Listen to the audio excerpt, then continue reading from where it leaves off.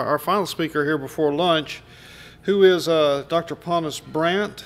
He has a PhD in space plasma physics from the Swedish Institute of Space Physics in Kiruna, Sweden. He's currently a senior professional staff scientist at John Hopkins Applied Physics Laboratory. So, uh, I'm Pontus Brandt. I hate to stand before uh, between you and lunch and the food, uh, so I'll try to make this fast.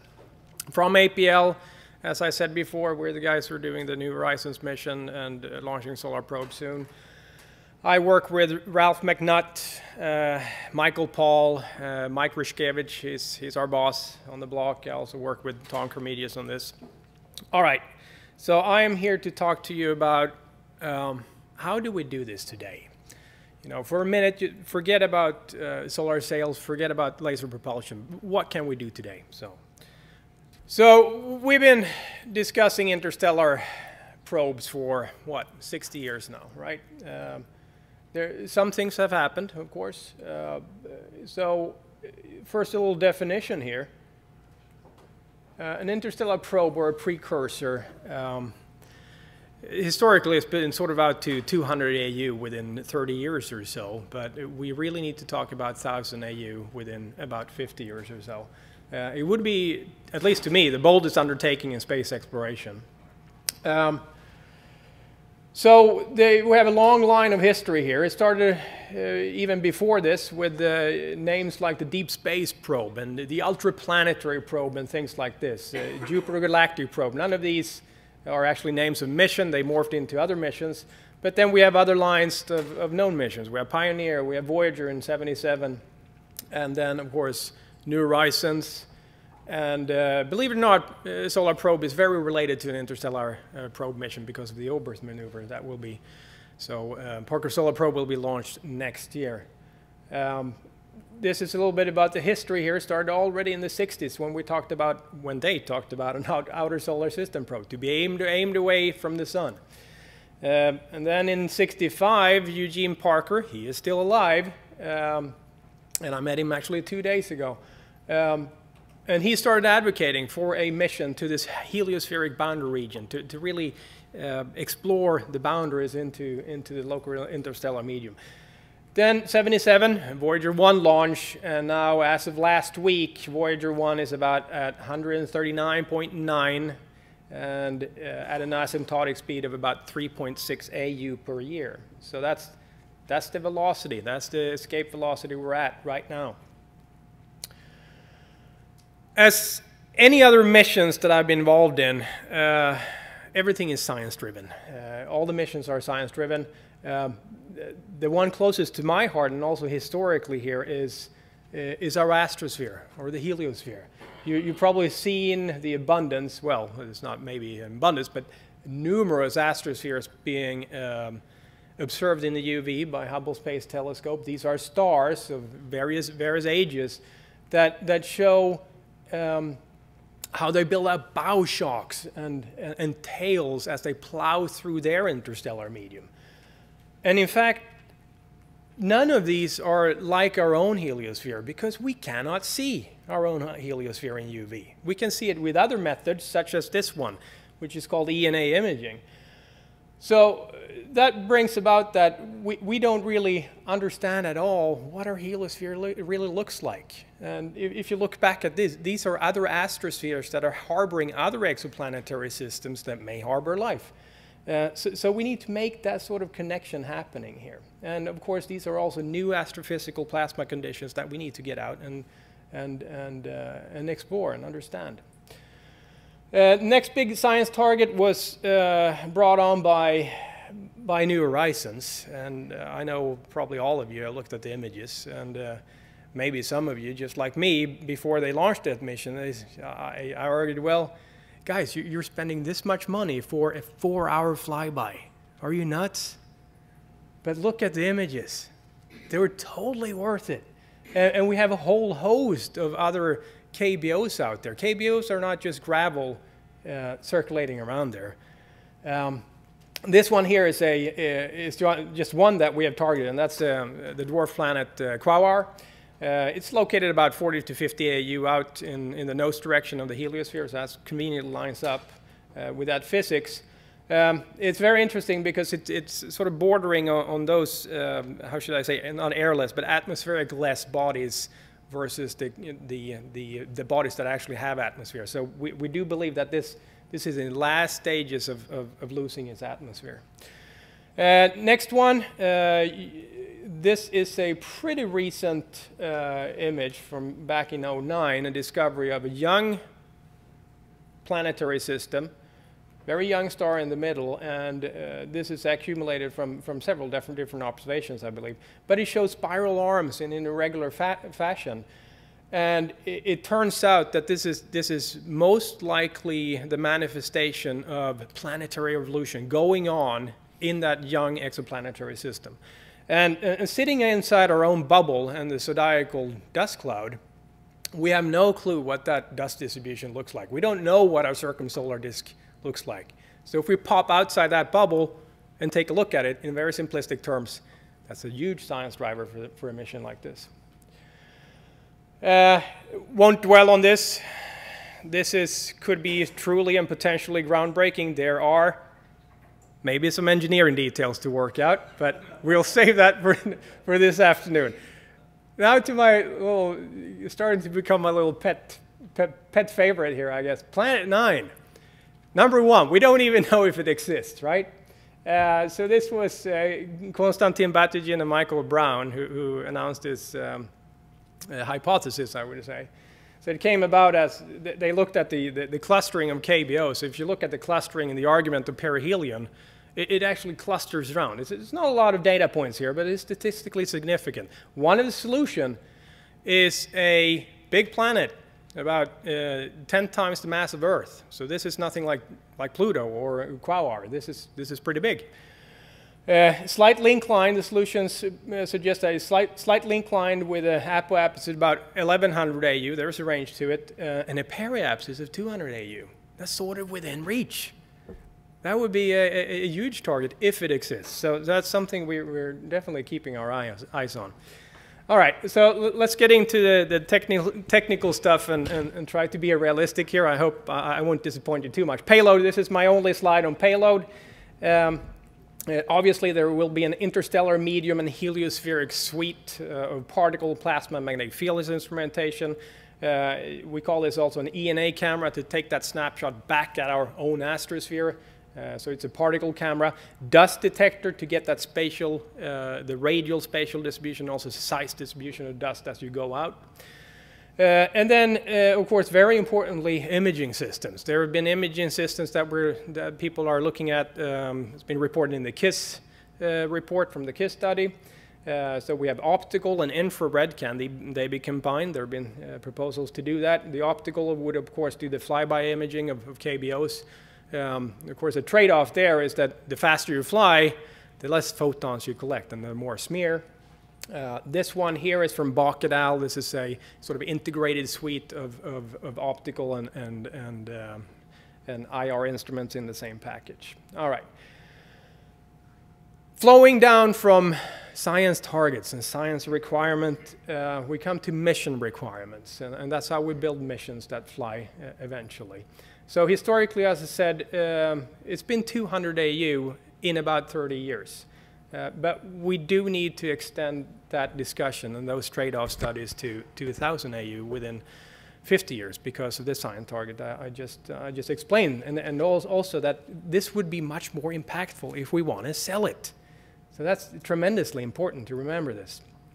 Um, we need to consider all possible missions that launch between now and 2015. I don't think that's really changed. Uh, what we want to do is look at existing launch hardware. We don't want to wait for you know, new technology, no in-space assembly. That will complicate uh, matters too much.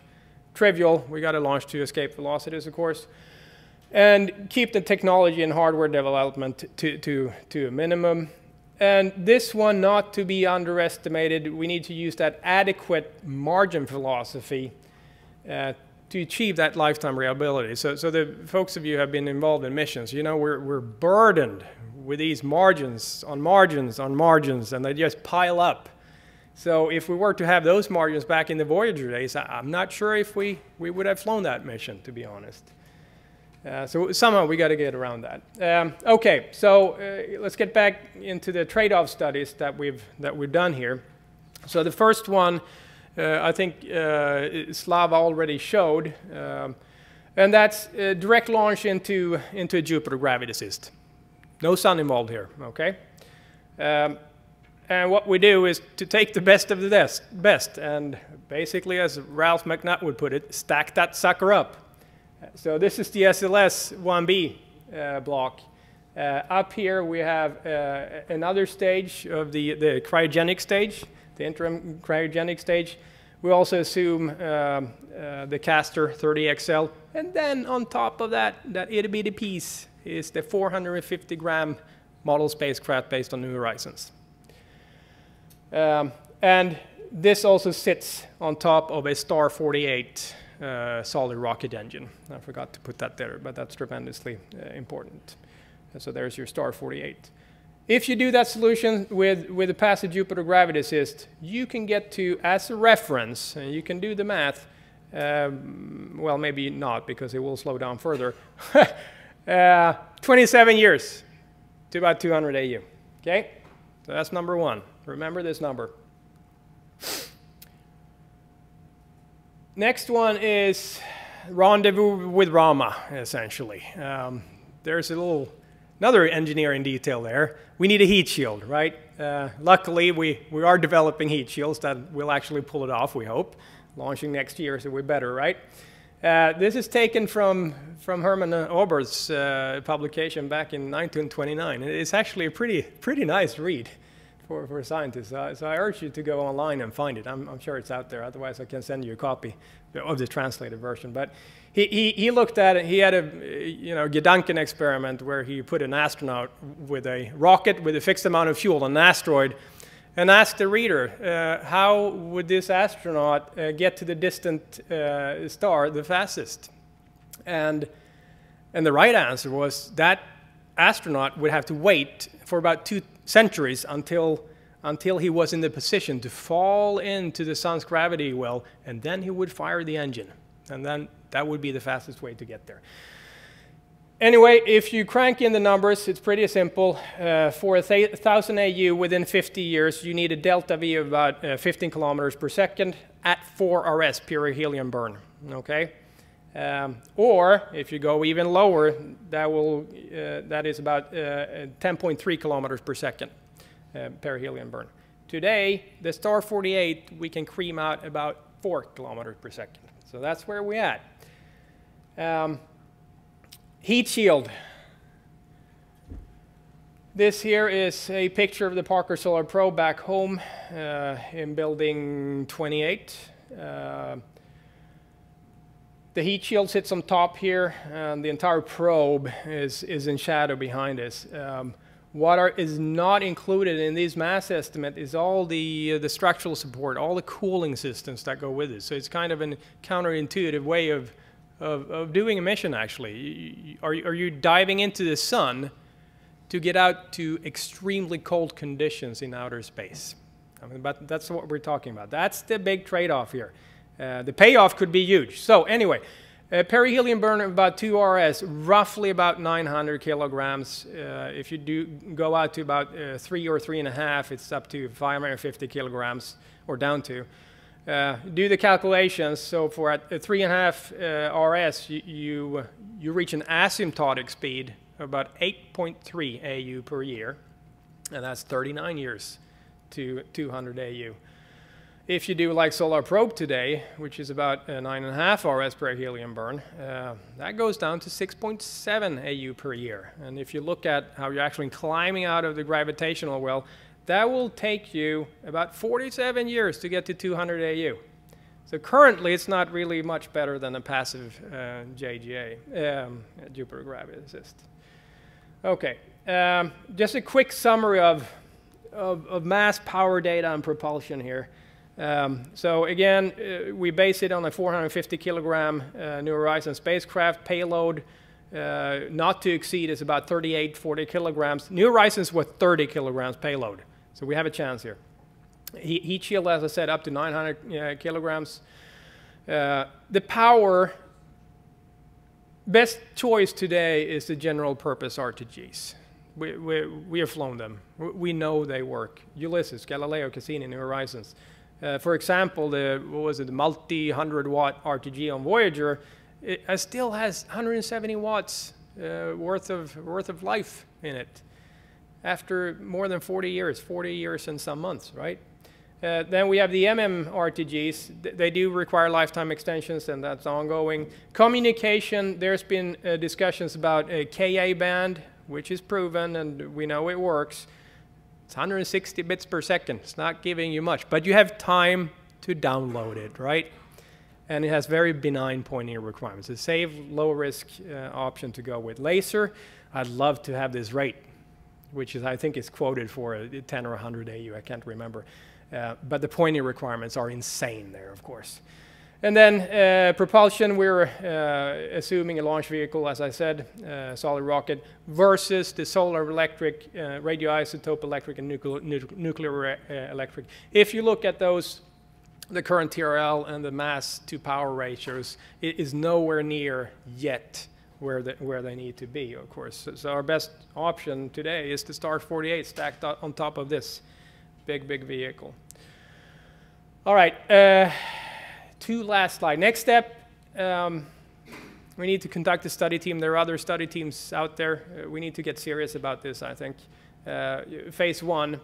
So this will, as Mark Millis points out, this will be uh, all under the Act One. So uh, of, of this first study, we propose a feasibility and trade-off study on the existing technologies. As I mentioned, the Oberth versus the, the Jupiter Gravity Assist uh, followed by other uh, phases where we do a detailed risk analysis. We put the roadmap down of, of how we want to do it, do strategic analysis of investment and stuff like this. Um, this needs to get into the decadal uh, midterm reports as soon as possible. It's already in, mentioned in the heliophysics uh, decadal, but we need to get it into the planetary as well if we need to have traction on this. Um, talked about the RTGs, uh, and of course, we need to go uh, international and seek continuing import, uh, support around the world for this. Somewhat philosophical concluding remarks. Last slide. Uh, incessant obsolescence postulate. Thank you for that term, Mark. I've never really heard about, uh, about it before, but uh, basically means when do we really go, right? Uh, and in essence, you know, 100 years from now, we will still ask that same question. But yet, that has never really uh, inhibited us from, from doing exploration. So that question is kind of obsolete. So I I really resonate with, with Mark's conclusion there. Uh, so I do think interstellar precursor probe. We, it's time to really get serious about it. I mean, what can we do today to to to break that path? It's not to be first. It, it's because we need to we need to scope out the deepening waters of that ocean that we're setting out on. It, it's scout. Um, so in conclusion, we, we do achieve uh, asymptotic uh, speeds today that are twice that of uh, Voyager. We have the heat shield technology. We can optimize it. We can build further on the on the solar probe results, of course. And and also very underestimated. We, we, we need this precursor to also um, push that programmatic transformation that is needed to support these multi-generational uh, missions. It's funding across administrations. It's reliability requirements and, and all things like this. So with this, I'm going to take some questions, and I'm done. And you're holding up this. 10 minutes. I have 10 minutes left. This is only a 15 minute talk. Okay. You owe me one.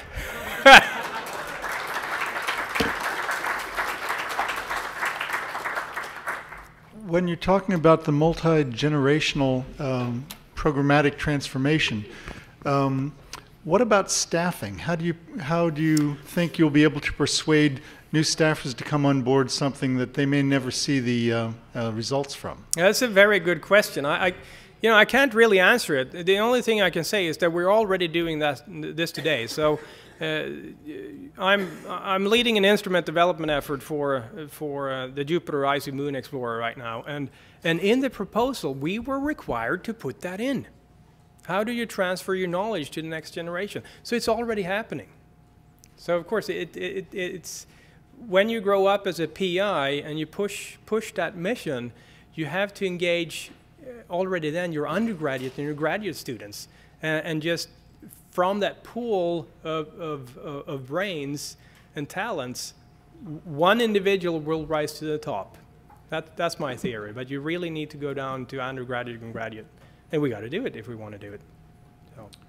Um, with the payload, mass, and uh, power levels that you gave, those values, um, I know there's usually uncertainties with that. Is uh, what sort of range of uncertainties are that? And there's a part B to this question, and I assume those numbers come from uh, technology readiness, ready to fly type of technologies. If you take that to the next uh, lower technology readiness level, about how much does that reduce? Is there some ballpark numbers you can give me on that?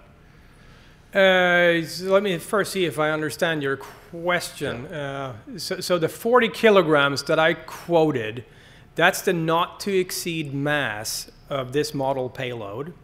Um, New Horizons had 29.9 kilograms of payload, did not include all the things we want to include. So if you rack it up and compare it to other missions like Ulysses and others, uh, we're still way over. Um, so rather, the 40 kilograms is a target, and we're not there yet. But I say within you know the next 10 years, we will see those developments coming down to that nu- number for that required payload. It- Does that answer your question? Yeah, that, that kind of Yeah. gives me an idea of what sort of, Yeah, it, it's hard. It's hard to get to 40 Yeah. kilograms. That's Okay. it. Yeah, thank you. yeah. With all of these uh, possible deep space missions that are, you know, uh, an exploratory one to see how deep the ocean is, and then some further ones and some big telescopes, you know, we really don't have that much plutonium for the heat generators hanging around. Is there a, I mean, do you have a solution or a suggestion? Because Uh, to power sources? No, I don't. I, th- I think uh, I think you, we've seen an increase in, in the decades, and that's uh, a lot thanks to Ralph McNutt. Actually, he's really been pushing for, for this production to go up. There, there's you know an increasing amount out there. It's not a lot. It will you know I could pro- I- I can carry it in my hand, which means it's tiny. Uh, but I would still put my bet on that for for the moment for energy. Dawn spacecraft using ion drive has now demonstrated delta V's, uh, I believe, greater than the launch vehicle that was used to launch it, so around 10 kilometers a second. Why would ion drive not be considered for the, uh, a mission like this? That um, quick answer. Uh, it, we would probably include ion uh, ion thrusters in uh, in the trade-off study. So you're not ruling it out. It's, it's no, I'm not ruling it out. I'm not ruling out. It's it's been coming online. A, a lot of Japanese missions have proven it as well. So we're following that. Okay. Anything else? Thanks.